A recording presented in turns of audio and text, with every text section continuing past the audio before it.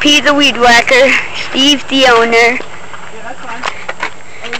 Jake the man behind the Toro, Okay. plus weed whacking, Alright, and my dad, the Okay, bobcat mowing. bye.